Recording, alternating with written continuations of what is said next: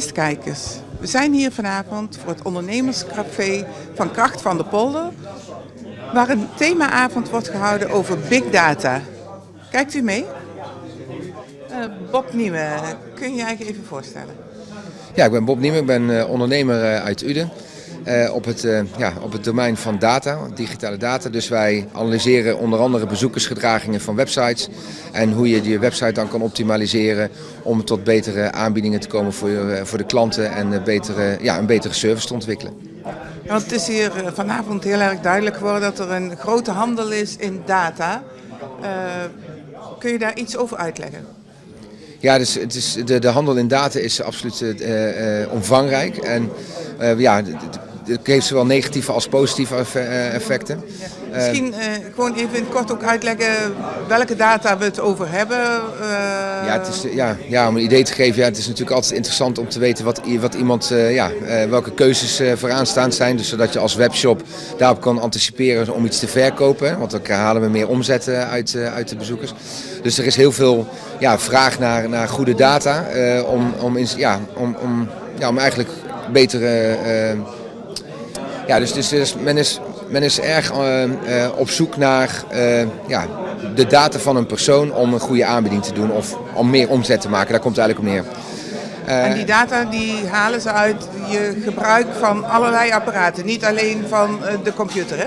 Ja, eens. Ja. Dus, dus we gaan met een, met, een, met een computer, met een mobiele telefoon gaan we naar een website. We gaan naar apps. We, we maken heel veel gebruik van ja, eigenlijk onze digitale snelweg.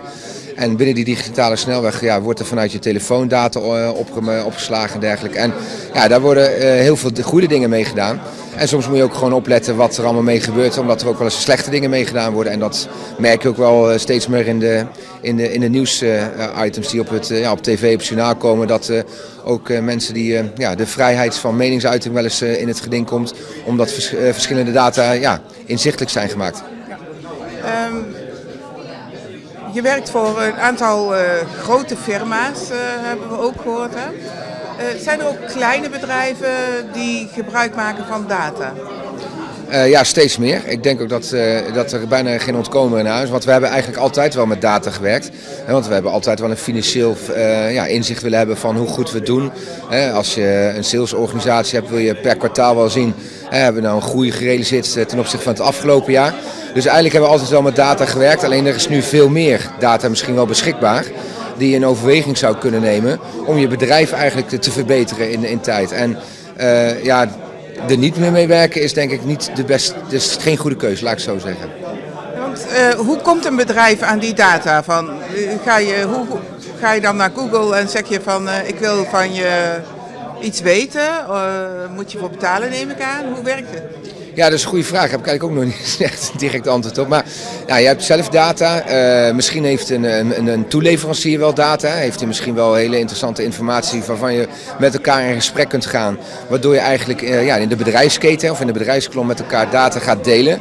Uh, waardoor je toch misschien tot vele rijkere inzichten gaat komen. Want iedereen denkt altijd van het is concurrentievoordeel. Maar het kan ook groei betekenen voor optimaliseren van, van, eh, van de bedrijfsketen. Dus je hebt allemaal een toeleverancier.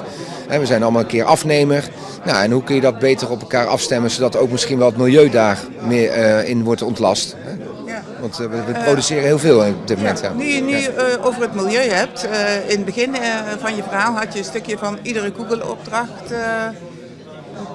ja. Is uh, ook een, een, ketel water uh, koken? Ja, klopt. Ja. Ik, ik weet niet meer exacte aantallen, die weken, maar er is inderdaad een onderzoek geweest waarin het aantal zoekopdrachten van Google gelijk stond aan het koken van een 1 liter water voor thee. Dus via een waterkook. Dus zoveel energie verbruiken we ook met ja, eigenlijk de zoekopdrachten die Google ons mogelijk maakt. Ja. Eigenlijk is het heel opmerkelijk dat iedereen praat over een hoog energiegebruik. Ja. Maar misschien niemand in de gaten heeft, of niemand, maar eh, er wordt eigenlijk nooit over gepraat van, kost zit je weer op Google, weet je wel wat dat kost aan energie? Nee, ja, dat is, dat is grappig inderdaad. Dus, dus als je het ook zo, ja, zo uitlegt, uh, is dat ook uh, niet de relatie die je uh, ja, van tevoren bedenkt van, goh, ik ga eens even kijken op Google en dat kost mij weer zoveel energie. Maar uiteindelijk kost alles energie. En, en ja, bewuster omgaan misschien wel met, met sommige ja, energiebronnen of, of, of ja, dit soort bronnen. Ja, ja, goed het is gebruikersgemak, dat is één. En ik denk dat gebruikersmarkt altijd wint van de energieprijs. Uh, kijk ook naar, naar de, de, de benzineprijzen. We gaan niet minder auto of minder kilometers rijden omdat de benzineprijs omhoog gaat. Dus heeft te maken met prijselasticiteit of ja, hoe, hoe die dingen verhouden. En ik denk dat dat met internet eigenlijk hetzelfde wel is. Nou, we kunnen niet meer zonder. Er zijn een heleboel mensen die zeggen van nou ja, ze mogen gerust alles van me weten. Uh, ik heb geen geheimen. Ja. Uh, ik ook niet trouwens. Kun je daar zo, uh, zo makkelijk over denken? Of, of kan ik daar beter aan de een andere spreker van. Ja, de andere spreker heeft inderdaad wel wat, uh, heeft er wel wat meer uh, inzicht over, over, over wat zijn de gevaren van prijzen, waar ik het uh, met een grote gedeelte ook wel eens, eens ben.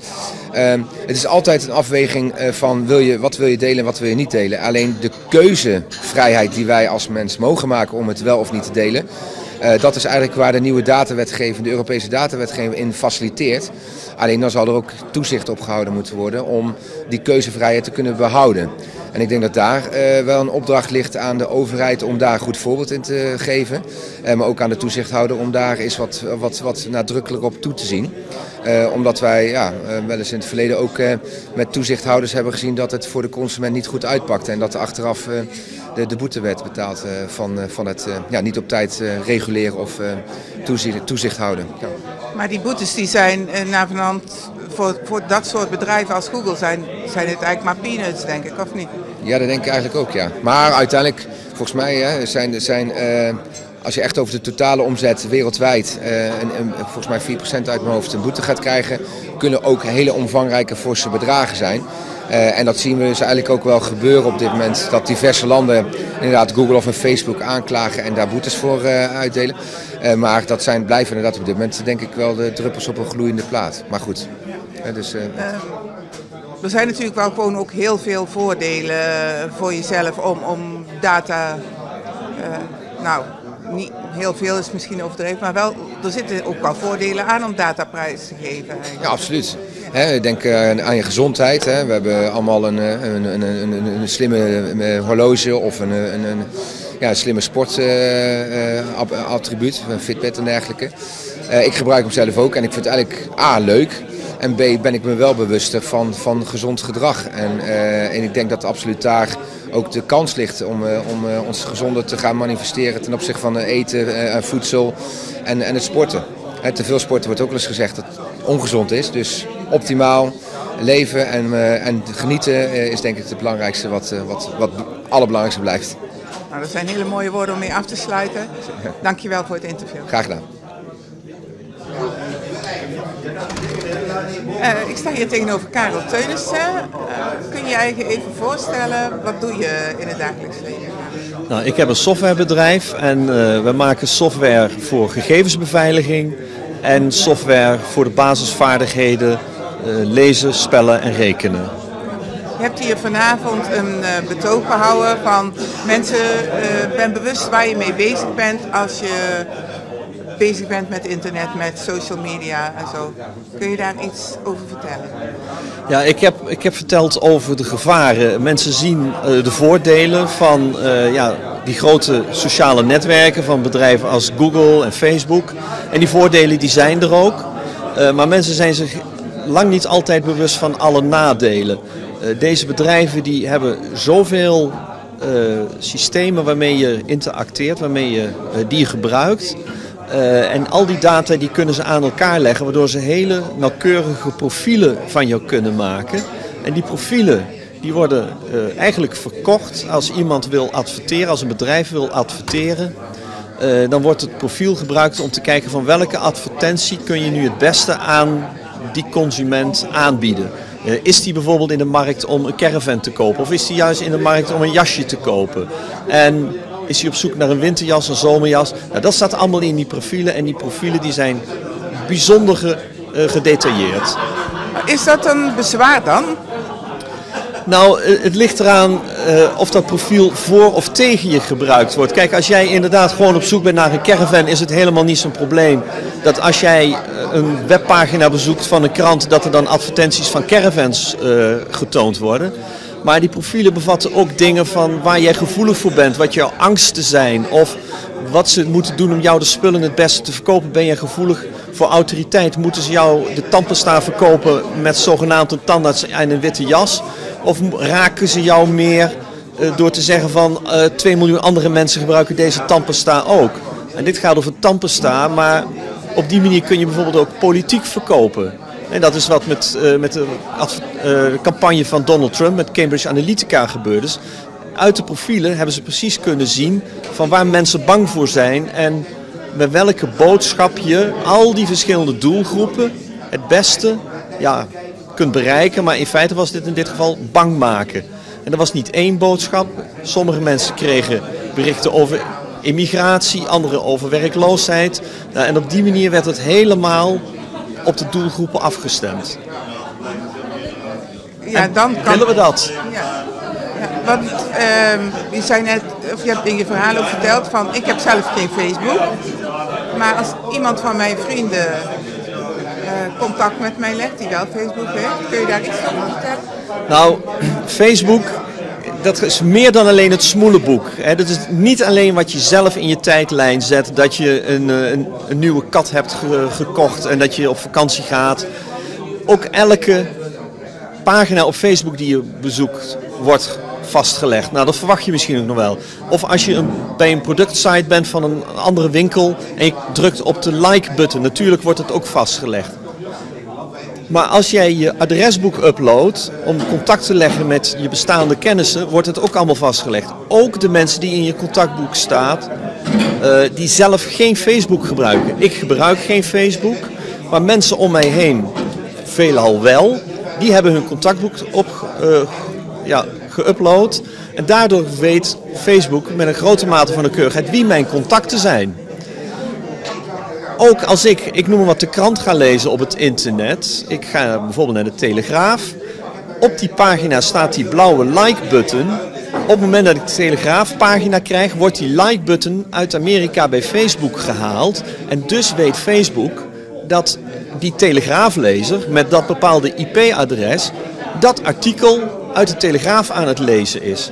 En als ik daarna naar een grote webwinkel ga, ik noem maar wat bol.com, daar staat ook weer die like-button van Facebook. Op het moment dat ik daar dan aan beland, wordt weer die button uit Amerika gehaald. En nu kan Facebook aan het IP-adres, maar ook aan de cookie zien van... hé, hey, daar hebben we weer die persoon die net de Telegraaf dat artikel aan het lezen was.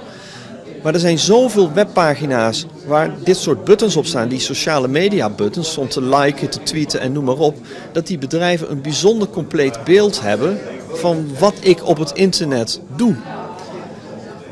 Als je Facebook gebruiker bent, ook je adresboek, je foto's, je chats wordt allemaal verzameld. Doe je het op mobiel, dan weten ze ook waar je bent. Een mobiele telefoon geeft duizenden keren per dag de eh, de positie door. Ze pikken data die ze eigenlijk niet mogen pikken. De applicaties die je hebt geïnstalleerd op je telefoon, het wordt allemaal doorgegeven. Ze beloven het niet te doen, maar het gebeurt veelal toch.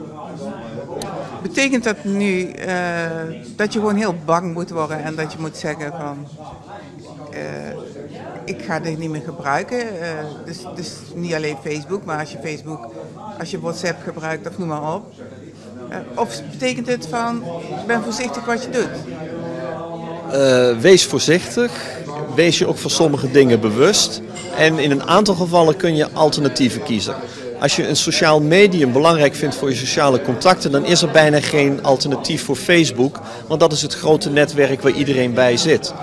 Maar als je iets wilt zoeken, ja, je bent niet verplicht om de zoekmachine van Google te gebruiken. Er zijn alternatieven.